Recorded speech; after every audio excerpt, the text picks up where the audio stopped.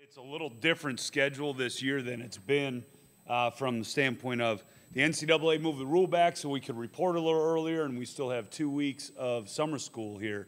So we're having to juggle some schedules for the guys and what have you. Uh, with that, Monday through Thursday is when you have class in summer. So for this week, we just concluded, and next week, uh, Tuesday and Thursday, we practice bright and early at 5:30 a.m. Feel like I'm going fishing. That's what time you get up to do that, right, Lindo? Um, and uh, the guys, we had two good practices so far, and they were the helmets. Uh, we're getting acclim- acclimatization. I think that's how you, the official term of it. Um, and this afternoon here at 3 o'clock, we're going to go and put uh, shoulder pads on, so we're in half packs, and that's part of that routine as well to get uh, moving toward full pads, which will then be Sunday. So we'll learn a lot more about our football team today. I tell you what, I like the effort and attitude they've come out with so far. Uh, I know I sound like a broken record when I say that, but this team has been a little bit different in that when it's approached the off season, when it's approached spring ball, and then the summer. And I was a little, uh, you know, I wanted to sit back and see a little bit there how the first two practices went as far as, uh, you know, how they came back and ready to go uh, from their summer training. Because the coaches, we still had to let those assistant coaches have some time off. So we didn't have our hands on them the complete summer, but certainly for a majority of it we did. But I like the way they took leadership and went and uh, certainly you could tell the first two practices they did their work that we asked them to do, which was good. So, um, you know, obviously I'm going to get asked the question who's our quarterback? I don't know yet. um, you know, if I knew, I probably wouldn't tell you guys anyways. No, I'm just kidding. Um, uh, you know, if I knew, I'd probably tell you so I don't have to answer the question, is what it comes down to.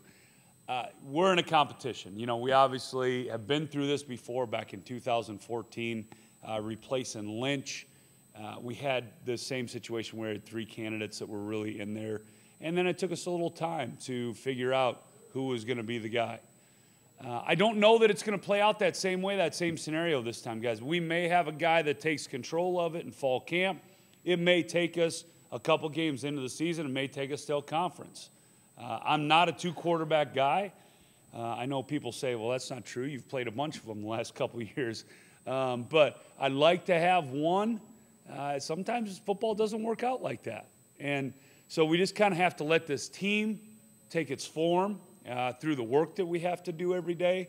And we have to let these quarterbacks take their form on the work that they have to do every day. And that's where I was. That's why I'm down here late you know, sitting in those meetings, getting a feel for those guys and going forward. So it'll be no um, easy job to replace Drew Hare, in my estimation. Uh, I know Drew didn't play much last year and the year before, got hurt at the end of the year, but you're talking about a quarterback that has a championship, one of the four in this school's history. So he's one of the four quarterbacks that have a championship. Uh, five, actually, if you include uh, our Hall of Famer, uh, George Bork, there.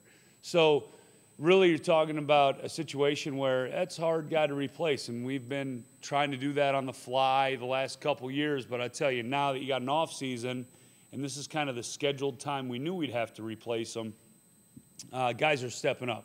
There's more teach time there's more practice time there's more of those things that can go into finding that quarterback and i'm excited about that process uh, with that. So uh, you know, with that, we'll just open it up for questions right now, and then I know we got some other guys back there you guys want to talk to about anything I've missed. So, you guys got any questions right now?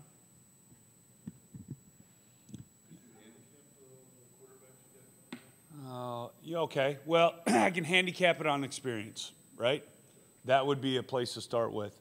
Uh, Santa ended the year last year coming in, leading us to a comeback victory, and then winning his last start.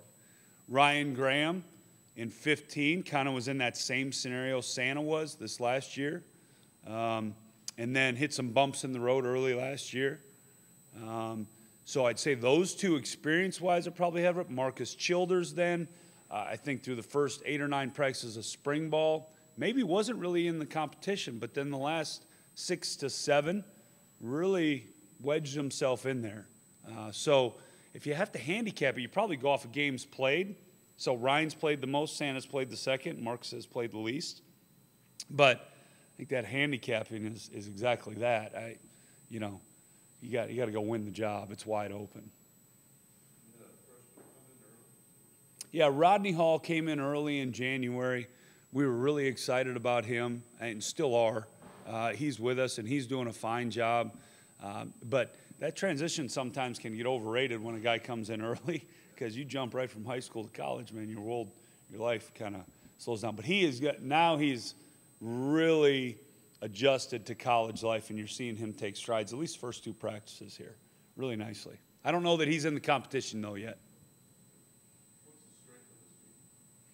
Well, there again, it- yeah, it's only two practices in without pads on.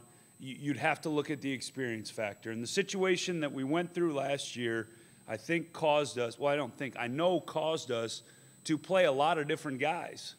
Uh, maybe before they were ready, maybe in some cases not before they were ready. But so the strength coming into this year is that we have a lot of competition going on in a lot of spots because there are incumbent starters that are coming back off injuries. You never lose your job over an injury. Um, so they're coming back as starters, but they got guys behind them that have played a lot of football.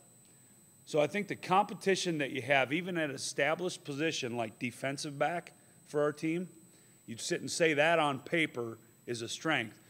But you look at the competition, that's really the strength because they can't get comfortable. Um, so I think that that's what I'd say right now is we have just such great competition going all over the board. I'm excited to see how it pans out. Good question.